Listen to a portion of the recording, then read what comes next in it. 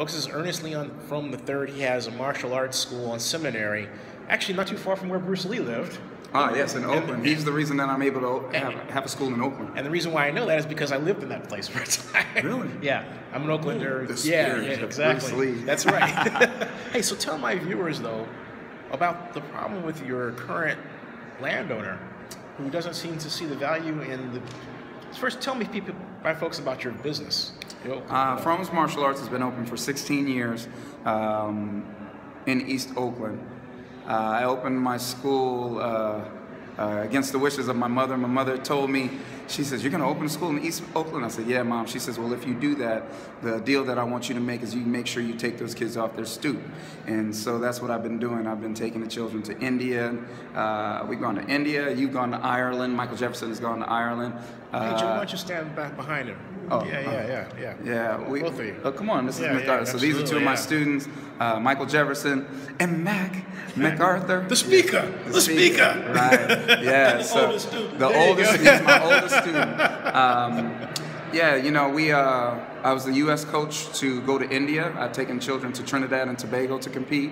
Um, where else have we gone? We gone. We gone all over. I mean, all all, all over the United States. Uh, and it's just taking the kids out of the environment that they're in so they can see more so that it opens up their mind that's what Frohm's martial arts is about people think that martial arts is about kicking and punching it but it's about living learning and just enjoying Hey, life tell them your website, by the way. uh, frohmsmartialarts.org actually it's frohmsmartialarts.com had to change it Yeah. um, yes man yes sir And what this is, what? the Why are you oh. displacing this man, sir? I just, you know, what's going on here? I don't think it's personal. I, I really don't. Like I said, you know, inside, I don't begrudge anybody being able to buy property. Just know where you're buying property. Know what's going to happen. You know, if I stomp out a uh, an ant mound, I know they're gonna just, they're gonna go all over the place, and I've destroyed their home. Yeah. You destroyed our ants. You, you destroyed our, these ants' home.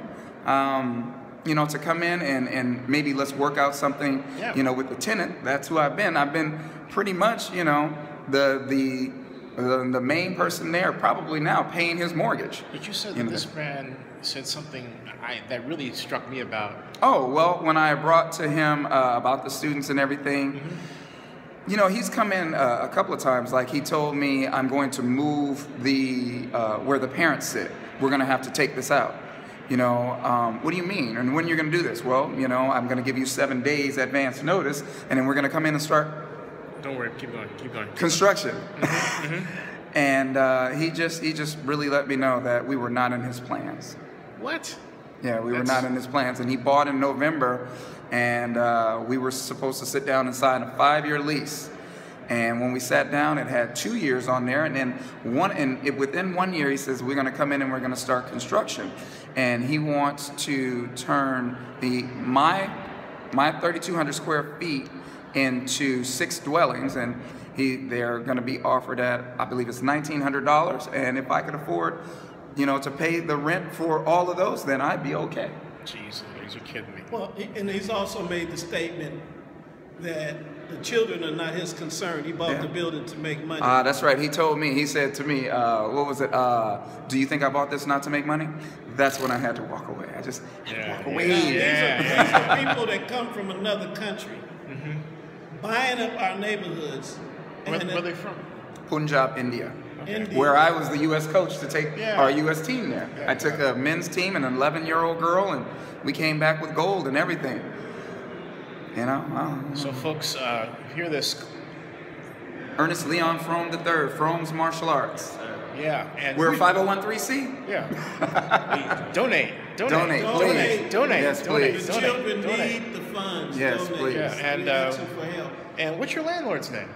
Ah. We don't want to. Oh, They call he's gonna him- see it anyway. So Well, what I say. his name is, is, is, this is what's being circulated and people have done research. Okay. And they say his name is Man Edge Properties That's what it and he's the owner of We Grow. We grow.